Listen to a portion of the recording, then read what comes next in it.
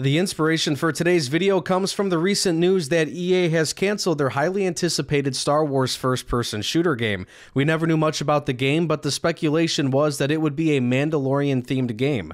The hype was big, but short lived as the game's announcement and cancellation were literally weeks apart from one another. This is yet another disappointment coming from Star Wars, and I can't help but ask this Is Star Wars the most mismanaged franchise ever? I can't believe a franchise as big as Star Wars continues to drop the ball and disappoint fans so many times on so many levels. Those that make the games, movies, and shows, and heck, even the ones that run the hotels struggle to keep this franchise upright. Owning Star Wars should be a cakewalk for Disney, and coming up with new ideas for movies, shows, and games should not be that difficult. There should not be this much anger, frustration, and disappointment with this IP. And yet, here we frickin' are. In today's video, I want to talk about this Mandalorian game because there's some interesting stuff behind the scenes with this situation, and I also want to take a look back at some other frustrating examples that I could use to help us answer this question. Is Star Wars the most mismanaged franchise ever? It sure seems like it to me.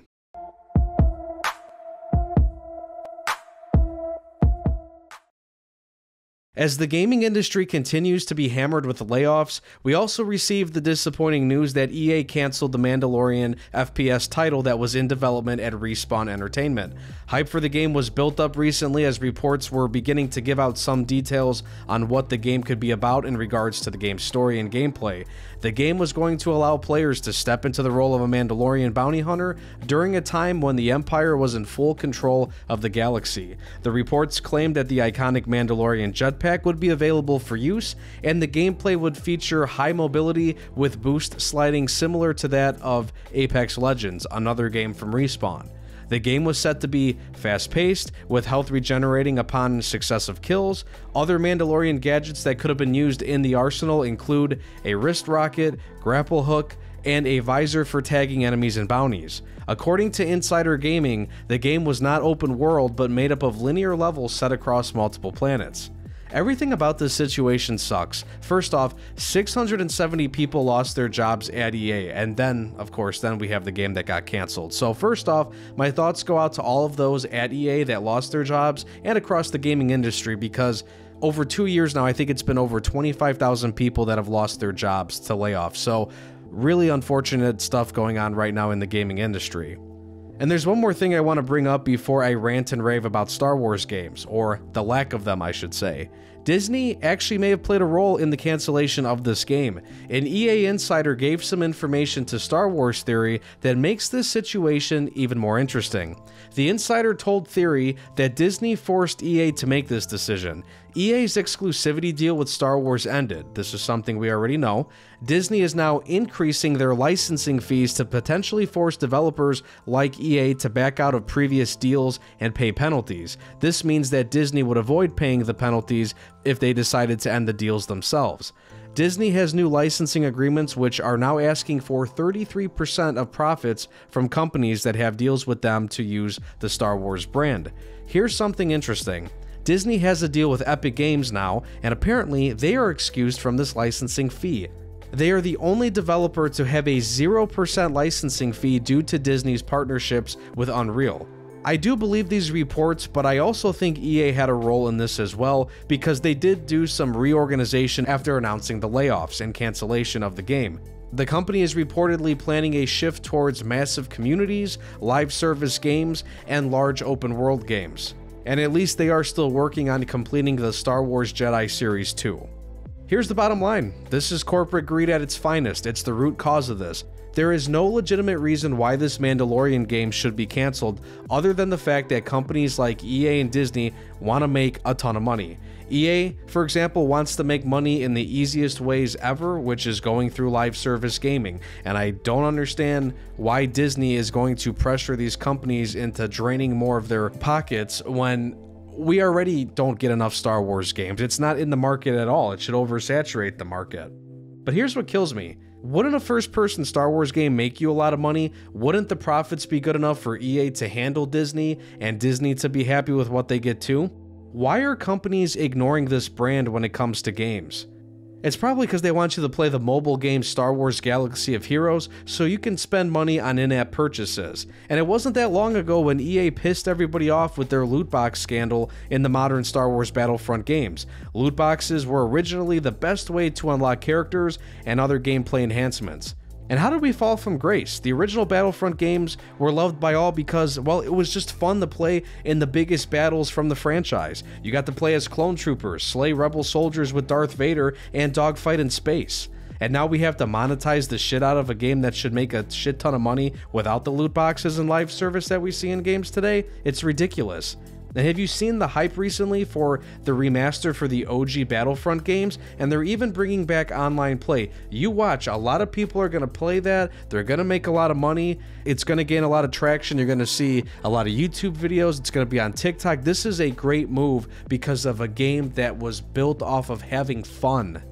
Nobody wants to play a Star Wars game and grind for hours just to unlock Darth freaking Vader. We hardly get single player Star Wars games too, and that's why this Mandalorian game would have been awesome. And this actually wasn't the first Mandalorian game to get cancelled. Remember Star Wars 1313? A little over 10 years ago, a third person game featuring Boba Fett was axed.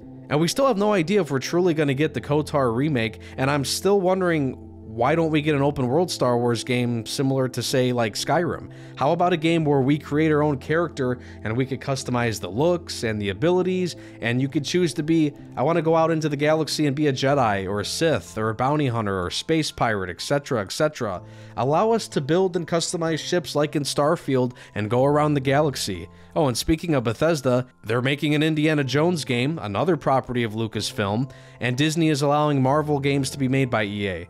So how the hell is Star Wars getting the short end of the stick here? There's so many different kinds of games that could be based off of Star Wars. Star Wars games should be flooding the market. And I know Ubisoft is in the middle of making Outlaw, and that looks interesting. I think I'm going to check it out. But again, like, where are these other Star Wars games at? Why isn't this oversaturating the market? I, I just, I don't get it. And of course, I care more about quality over quantity, but I'm truly surprised that we don't see more games out there since this franchise is so popular. And there's also Star Wars projects in the realm of movies and shows that we never got. We were supposed to get Rogue Squadron, which was going to be directed by Patty Jenkins, a movie focused on starfighter pilots. In my opinion, would have been great. A Star Wars version of Top Gun? Who honestly would have said no to that? The writers of Game of Thrones were once set to make a trilogy of films that would have premiered in 2022, 2024, and 2026. That got nixed, unfortunately, shortly after the final season of Game of Thrones. And I know that last season was controversial, but these guys had creative minds that would have been a great addition to the Star Wars writing room. And here we are sitting in 2024, still waiting for the first Star Wars movie since 2019. Other great creative minds like Kevin Feige and Zack Snyder were also supposedly in the running for making Star Wars films. And I know nowadays people will say no to Feige due to the current state of Marvel, and Zack Snyder's recent Rebel Moon fell short of being something great. But again, I truly think these talented minds would have been a great addition to some sort of project in this franchise. It kind of pains me to say this one, but I'll say it anyway. Even with Rian Johnson, his trilogy would have maybe been interesting to see. I was not a fan of episode 8 and planning on giving him a trilogy well before seeing the reception of The Last Jedi was pretty dumb on Disney's part. But Rian is a talented director and perhaps working on something else in Star Wars, but outside of the Skywalker saga, maybe that would have been the best way to go. And actually, this is now the perfect time to segue into the last thing I want to talk about, and that is the mismanagement of the content that we actually have gotten. I recently went back to an old podcast that I used to do with some friends. It's called Ramble Radio. By the way, it's on all podcasting platforms. Just a little plug out there if you want to go check out what we have. But, anyways, I went back to listen to two specific episodes. It was our reviews of The Kenobi Show and The Book of Boba. And it's pretty amazing to see how badly they messed up those shows that should have been good, that literally had the potential to be great. Shows that could have given Disney great ratings, more merchandise opportunities, more traction on the internet, other sources of revenue.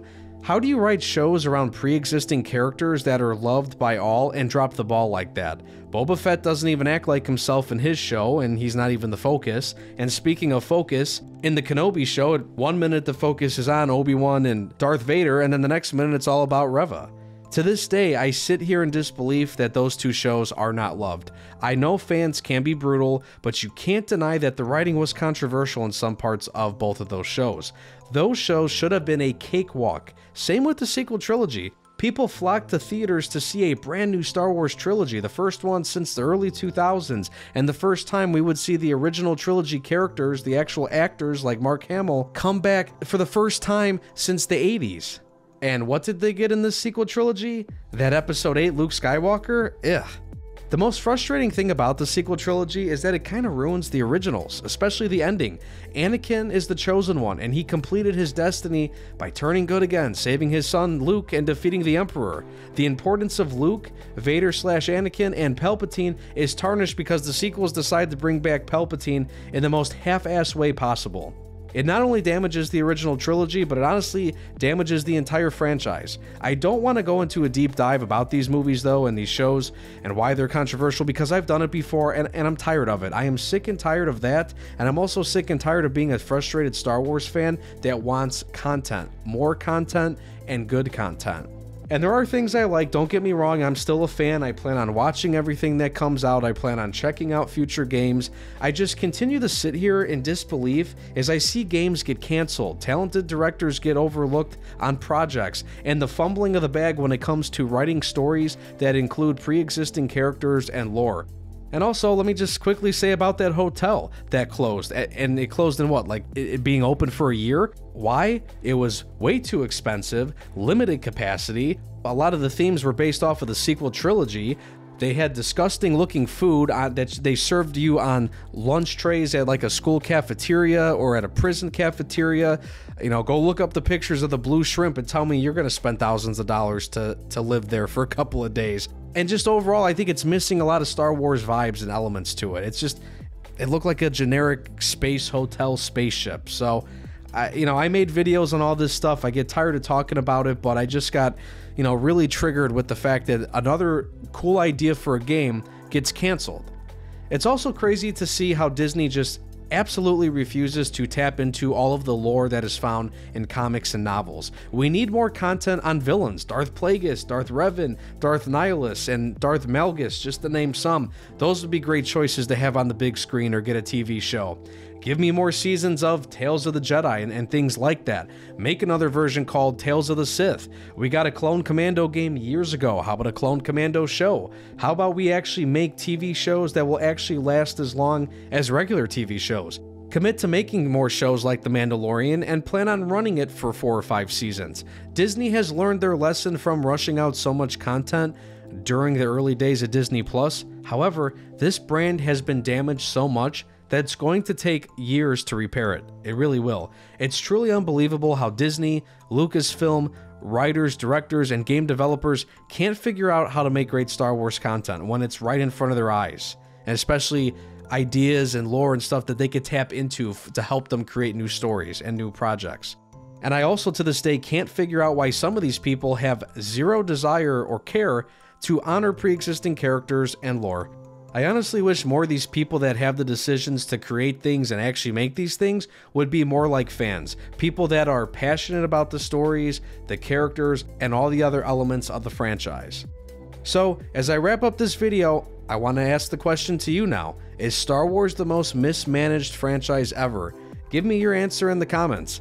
Thanks for watching the video. Check out the rest of the channel and consider subscribing. My content's also on podcasting platforms. Just Google Analyze This Podcast. You can also find me on X and TikTok, X at Analyze This underscore YT, and TikTok at Analyze This 54 underscore YT. Thanks again and take care.